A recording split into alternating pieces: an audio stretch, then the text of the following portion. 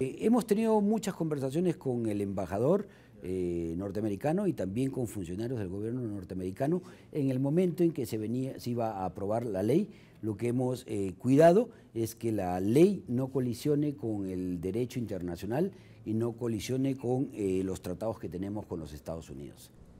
nosotros actualmente estamos recibiendo imágenes de los satélites franceses. Primero es la comunicación por radio, como debe de ser con la aeronave. Segundo es el acercamiento para una visibilidad, eh, eh, señales de luces e inclusive eh, esperemos que no sea así porque básicamente lo que se quiere con esta nueva regulación es que sea fundamentalmente disuasiva. Porque es un tema también internacional, no es cualquier aeronave que viene del extranjero. La interceptación de aeronaves no se pudiera hacer con material norteamericano, por ejemplo, que ellos habían, hubieran donado, ¿no?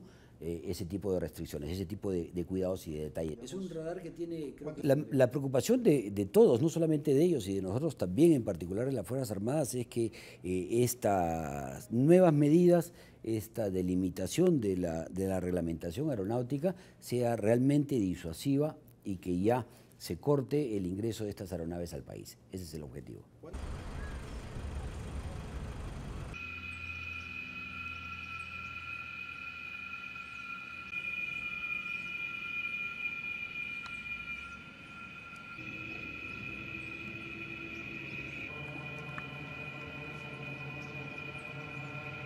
recaído en el proyecto de ley 2891, por el que se propone la ley de control, vigilancia y defensa del espacio aéreo nacional. 88 votos a favor, 0 en contra, 0 abstenciones. Ha sido aprobado por unanimidad.